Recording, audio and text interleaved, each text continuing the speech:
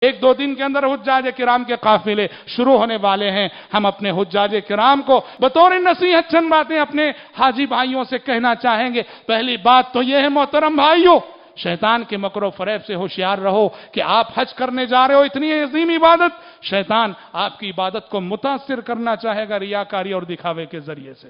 ہاں غیر مناسب بات ہے، غیر مناسب رویہ ہے۔ ہم حج پہ جا رہے ہیں اور اس کا ڈھنڈورا پیٹ رہے ہیں، اخبار میں اعلان دے کر۔ اخبار میں اعلان دے کر کہ میں حج پہ جا رہا ہوں، دعا میں یاد رکھیے، یا کوئی ہمارا عزیز اور رشتہ دار ہماری فوٹو اخبار میں دے کے اعلان کریں کہ فلاں صاحب حج پہ جا رہے ہیں۔ یاد رکھو، یہ فریض حج کو باطل کرنے والا قدم ہے۔ ہمارے اندر الاخلاص کی جگہ دکھاوا، ریاکاری اور شہرت کا جذبہ پیدا کرنے والا اقدام ہے۔ اس سے پرہوز، پرہیز کرو، کسی بھی عمل کی قبولیت کی بنیادی شرط ہے اخلاص۔ اخلاص اخلاص کو لازم پکڑو۔ اللہ کی رضا، اللہ کی خوش دی اور اللہ کی بندگی کی خاطر یہی ایک ارادہ لے کے حج پہ جاؤ، اخلاص جتنا ہوگا، عبادتیں اسی قدر اند اللہ مقبول ہوگی۔ اور یاد رکھیے، ایک کردار ہے، قرآن جس کی مذمت کرتا ہے حج کو لے کر۔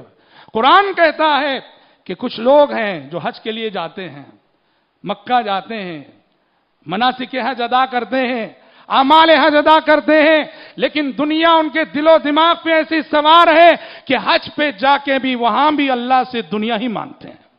قرآن مذمت کرتا ہے ایسے حاجیوں کی۔ قرآن نے کہا فمین ہوم یقول ربنا آتنا فی الدنیا وما له فی الاخرت من خلاق۔ کہا کہ حج پہ گئے ہیں۔ اللہ کہتا ہے، میرے کچھ بندے ہیں جو حج پہ آئے ہیں، میرے دربار میں آئے ہیں اور یہاں آ کر بھی مجھ سے صرف دنیا مانتے ہیں۔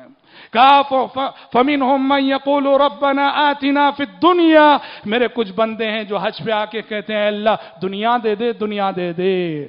اللہ کہہ رہا ہے، وما له في الاخره من خلاق۔ ایسے لوگوں کو یاد رہے کہ جنہیں حج میں پہنچ کر بھی صرف دنیا ہی کی فکر رہتی ہے کہ ان کے لیے آخرت میں کوئی اچھی خبر نہیں ہے۔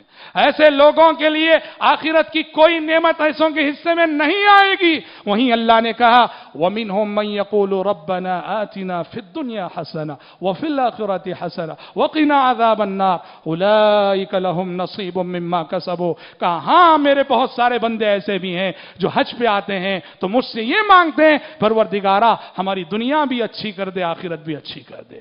ہمیں دنیا میں بھی عزت عطا فرما، آخرت میں بھی عزت عطا فرما۔